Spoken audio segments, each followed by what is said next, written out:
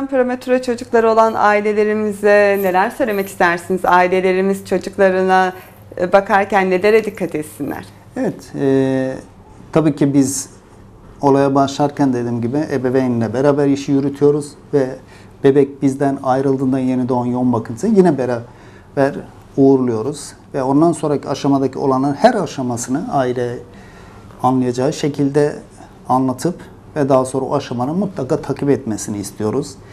Özellikle ilk bir yıl bebekleri yakın takip ediyoruz. Çünkü zaman zaman ailelerin de unutabileceğini düşünerek belli şeylerde eğer e, gelmedilerse biz mutlaka kendimiz arıyoruz. Şunun yapılması gerekiyor.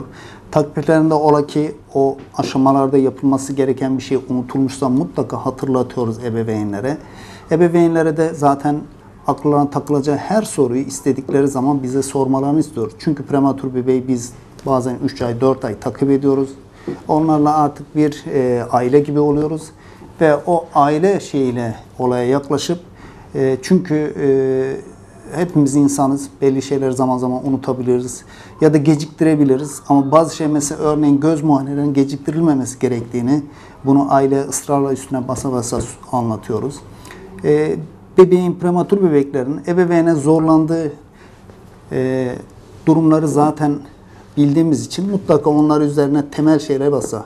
Bazı şeyler vardır tabii ki daha hani bir hafta gecikse de ama örneğin beslenmesini, işte yıkamasını, aşısını, e, rutin yapması gereken kontrolleri, göz muayenesi, kardiyolojik, nörolojik, artı fizik tedavi olsun e, ve diğer gelişimiyle ilgili bebeğin büyüme ve gelişimine ilgili takiplerini mutlaka e, özellikle ilk bir yıl yakın takibi. Ondan sonra normal çocuklar gibi izliyoruz. E, okula gidecekse okul öncesi mutlaka bebeği tekrar görüyoruz. Buna bir takım yapılması gereken takipleri, e, laboratuvar e, sonuçları olsun onlar kontrol edilir, muayeneleri yapılır. E, yani e, aslında e, yeni doğan yoğun bakım üniteleri ve orada çıkan bebekler bizim için artık çok hani bir yakın bir dost gibi oluyorlar. E, gerçekten çoğu bize bazen e, uğradığı zaman e, önce yukarı çıkıyor.